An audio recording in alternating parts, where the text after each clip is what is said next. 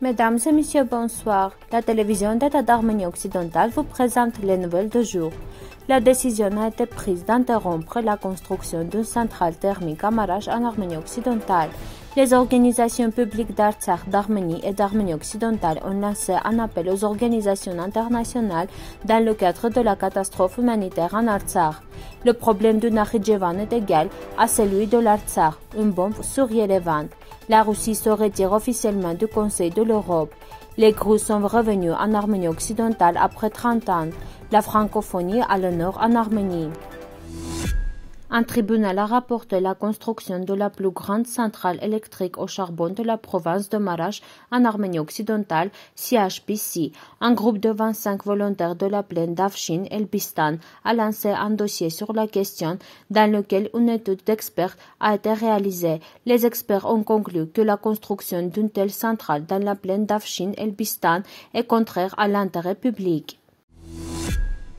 Après une guerre de 44 jours, la République d'Artsakh est confrontée à une nouvelle catastrophe humanitaire. C'est ce qu'affirme l'appel des organisations non gouvernementales opérant en Artsakh et en Arménie aux organisations internationales. Près d'un an et demi après l'adoption de la déclaration de cessez-le-feu, le 9 novembre 2020, l'Azerbaïdjan continue de mener une politique de nettoyage ethnique contre le peuple d'Artsakh par diverses méthodes. En détournant l'attention de la communauté internationale sur la crise en Ukraine, Bakou officiel a considérablement augmenté les tensions dans les colonies de la République d'Artsakh. L'ensemble de la population de l'Artsakh est privée de gaz naturel depuis le 8 mars. La partie azerbaïdjanaise menace également l'existence physique de la population.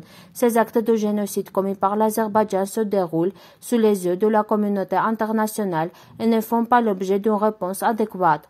Nous demandons instamment à l'Assemblée de la communauté internationale et au coprésident du groupe de Minsk de l'OSCE de prendre les mesures nécessaires pour empêcher la catastrophe humanitaire imminente et la politique azerbaïdjanaise de nettoyage ethnique des Arméniens de l'Artsakh, indique la La déclaration sur les négociations possibles entre Yerevan et Bakou sous les auspices de l'OSCE démontre une distorsion délibérée du matériel de négociation. Si le traité de Kars est en vigueur, alors le Nakhijevan n'est pas un territoire relevant de la souveraineté de Bakou. S'il n'est pas en vigueur, rendez Ararat et Igdir. La reconnaissance mutuelle sera réalisée par un accord de paix qui est impossible sans la reconnaissance des frontières une partie de la frontière sud de l'ancienne RSS d'Arménie et la ligne de démarcation définie par les traités internationaux entre le RSS et la République autonome du Nakhijevan. Le Nakhijevan était défini par le traité Moscou-Kars de 1921 comme une autonomie arménienne placée sur les auspices de la République d'Azerbaïdjan. L'article est disponible dans son intégralité sur notre site web. Le ministère russe des Affaires étrangères a annoncé son retrait du Conseil de l'Europe et cette notification a été remise à la secrétaire générale Maria Pejchinovich-Buric. La déclaration dit Dans ces circonstances, notre pays ne restera pas au Conseil de l'Europe. Le 15 mars, la secrétaire générale Maria Pejchinovich-Buric a été informée du retrait de la Fédération de Russie de l'organisation. En se retirant du Conseil de l'Europe, la Russie devra dénoncer la Convention européenne des droits de l'homme. Cette information a été rapportée par le vice-président du Conseil de la Fédération russe, Konstantin Kosachev. Le Conseil de l'Europe, quant à lui, avait l'intention d'exclure la Russie de ses Cette annonce a été faite à Strasbourg le 14 mars lors de la session de l'Assemblée parlementaire du Conseil de l'Europe. Le retour des gros dans la province de Hakkari en Arménie occidentale après une absence de 30 ans a surpris les citoyens. Des dizaines d'espèces d'oiseaux qui ont commencé à revenir des climats plus chauds vivent ici dans la plaine connue sous le nom de paradis des oiseaux. Les gros en faisaient partie. La population des gros est en danger d'extinction en Arménie occidentale. À l'occasion de la Journée internationale de la francophonie, à partir du 20 mars, quelques 700 événements culturels, universitaires, scientifiques et d'éducation générale francophone seront organisés en Arménie pendant deux mois.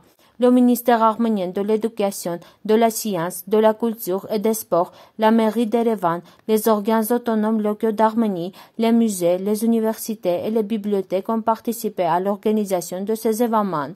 Les 21 et 22 avril, un concert du célèbre chanteur canadien Garou aura lieu à la salle de concert Karen Demirchian à l'occasion du dixième anniversaire de l'adhésion de l'Arménie à la francophonie.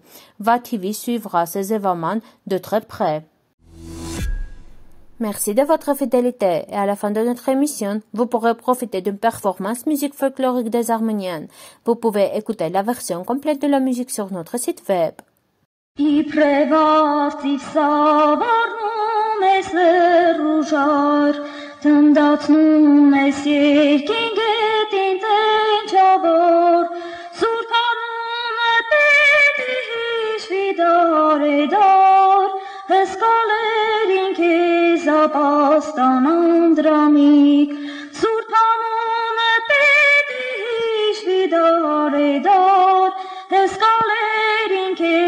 باستانند را